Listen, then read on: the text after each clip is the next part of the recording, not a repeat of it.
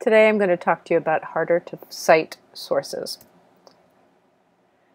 Now you saw the research model, we covered this to some extent. You begin the site, this documenting your research as you hit the investigation phase um, and you carry it on basically through all the way through till where you're writing up your, your assignment, your paper.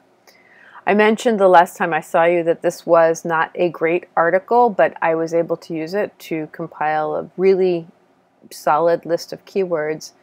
The question I have for your teacher is, should you include an article like this in your works cited? And that is really for your individual teacher to answer. This is the online writing lab at Purdue University, and we use in grades 9 through 10, 11, sorry, the MLA, which is, stands for the Modern Language Association Guide for um, for citation and for writing research papers. So that is the guide you use, and the OWL, the online writing lab at Purdue University, has an excellent online resource which we highly recommend. Um, there are some other resources that we recommend under citing on the library website. You'll find the Bibliography Quick Guide, You'll also find the online CRAP test, which is an excellent resource. If you're not sure about a, res a, resource, you can just walk through those a series of questions that will help you determine whether you find it help whether it's useful or not for you, and you should cite it or use it. And also, there's a works cited exemplar, and that is really all the hard to hard to cite questions I've received over the last couple of years, and we've been compiling those into a big giant works cited.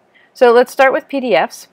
And uh, here is an example of a PDF that is hard to cite. When you do what you guys usually do, which is to copy the URL, drop it into a website, and click cite it, it ends up giving, EasyBib will end up giving you um, this information.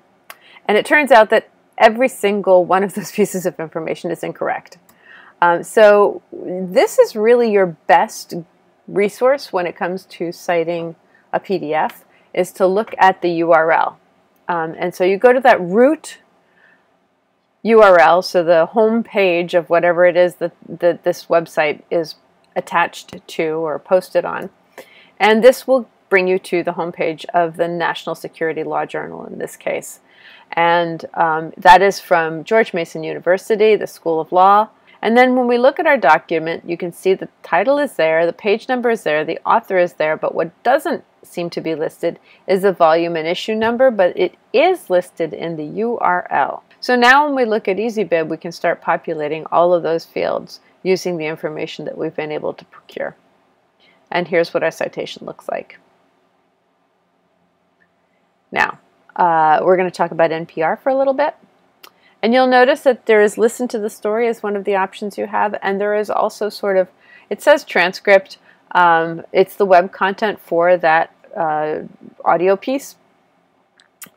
And when we go into EasyBib under all 59 options, there is a television slash radio option. That's what you're going to choose.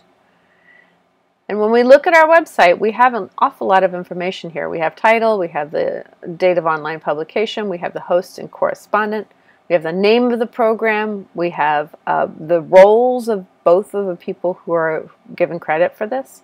So that's a lot of information. It's pretty comprehensive. But we are going to have to manipulate this citation just a wee bit. So it is a full source um, because it includes both the web content and the audio file.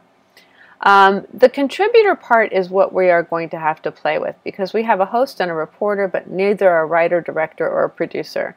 And you could probably omit that information, but I tend to want to make it accurate. So we're probably going to bend the rules just a wee bit just to make sure that we are accurate in our citation. So you can enter all the parts as, as needed. And then when you are done, there's an advanced edit at the top of the screen.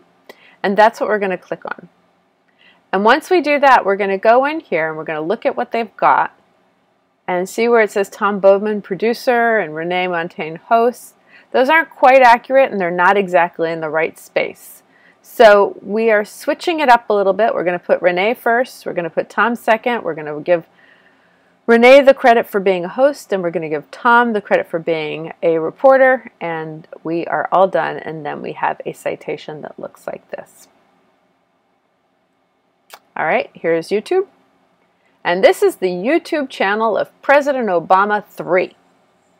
He has 1,100 subscribers. He's had a few million views. That's impressive. He joined in September of 2009. That is not President Obama. So here's the thing.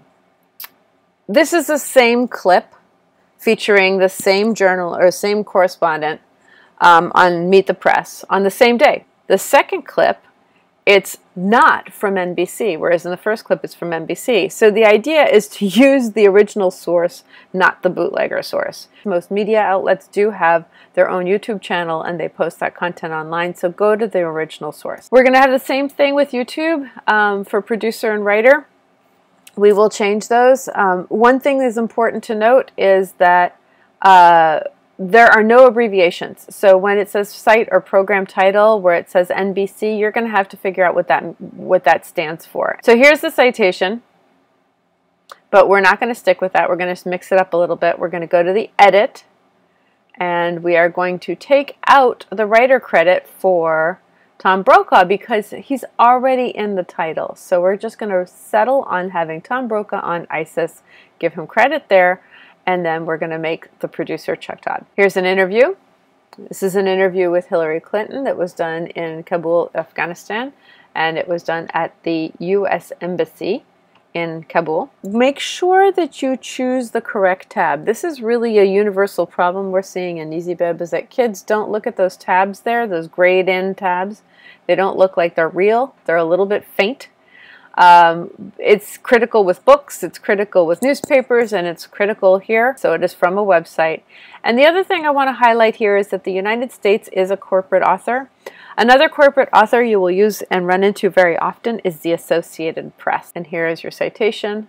There is one thing I would change here, and that is to take out the URL. So I will click the edit and I will go to advanced edit and I remove that and I update my citation and now I have a complete citation. And we now have the BBC. This is a television program on BBC One. You'll see down at the bottom under credits it has writer and pr producer and director uh, Gareth Jones. So we're going to give him credit for production. The other thing we're going to do is BBC. Remember, there's no abbreviation, so it's the British Broadcasting Company. And where it says display URL, you can save yourself the aggravation we just had with the Hillary Clinton interview, and you can click the space where it says no display URL. And there's your citation. Now, I promised that I would give you a screen with all of the abbreviations for many of the news outlets. And if you have any other suggestions for me to add to this list, then we will be happy to do that.